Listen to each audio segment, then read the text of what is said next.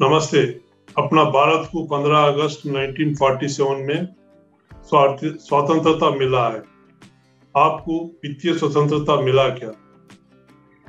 वित्तीय स्वतंत्रता का मीनिंग आप अपने फैमिली के साथ उसी जीवन जी रहे हैं।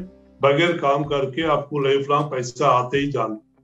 एक रिसर्च ने कहा है कि 95 परसेंट पीपुल लोग पैसे के लिए काम करते हैं और बाकी पाँच परसेंट वो वो लोगों के वास्ते पैसे काम करता है। Example Ramalinga Raju Satyam computers Vijaypat Singhania Raymonds owner और बाकी सा, बहुत सारे लोग बगैर प्लानिंग करके वो लोग बहुत सफ़र हुआ।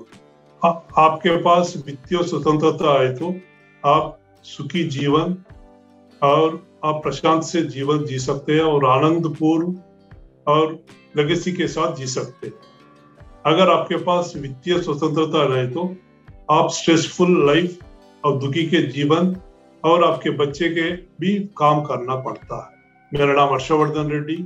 मैं मैं लास्ट पंद्रह साल से अबाउट पाँच सौ से ज़्यादा फैमिलीज़ को मैं सर्व कर रहा हूँ और मैं M D R T member हूँ।